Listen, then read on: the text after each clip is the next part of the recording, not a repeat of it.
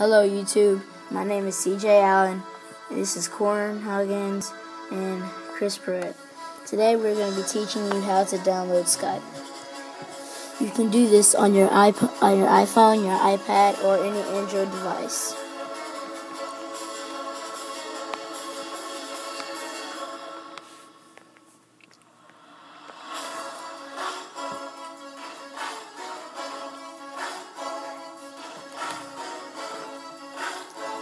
Next, you will go to your home page and you will click on the App Store.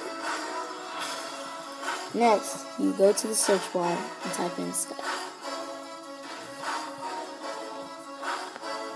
After that, you will see this icon.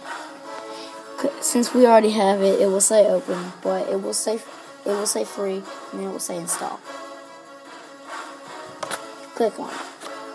Then it's going to take about two minutes to download.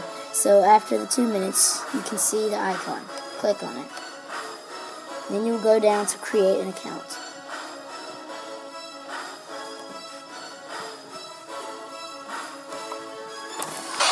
Then you will add a profile picture, your full name, your Skype name, your password, and fill in these boxes here.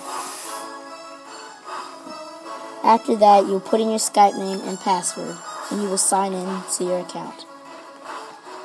Some things about Skype are that Skype is a telecommunications application software that specializes in providing video chat and voice calls from computers, tablets, and mobile devices via the internet to other devices or telephones and smartphones.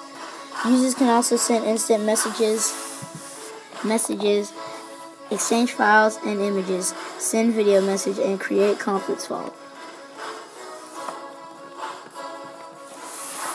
So this picture illustrates what Skype is about. Skype is a way that from all around the world people can attend important events and be there in person.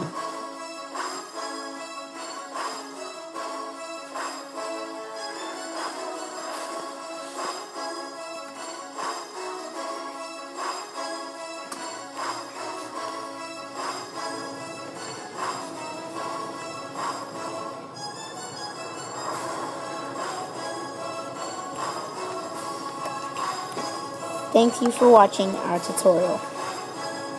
Bye.